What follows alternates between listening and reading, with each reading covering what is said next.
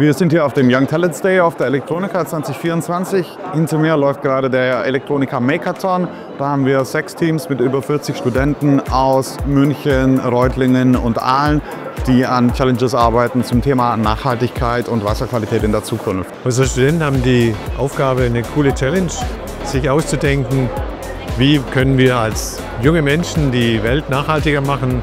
Ähm, es geht um Wasserverbrauch und äh, Wasser Nutzung, sparsamer Ressourceneinsatz. Und äh, für uns ist es eine große Chance, hier auf diesem Mekathon zu sein. Die Stimmung ist richtig cool. Die Studierenden sind einfach so im, im Flow, die packen was an, haben ein Ziel. Wir freuen uns sehr, dass wir mit ITQ dieses äh, Event machen können. Tolle Stimmung haben wir hier, wir haben tolle Studierende hier, wir haben tolle Kreativitätsansätze hier und die Ideen, die sind einfach hervorragend.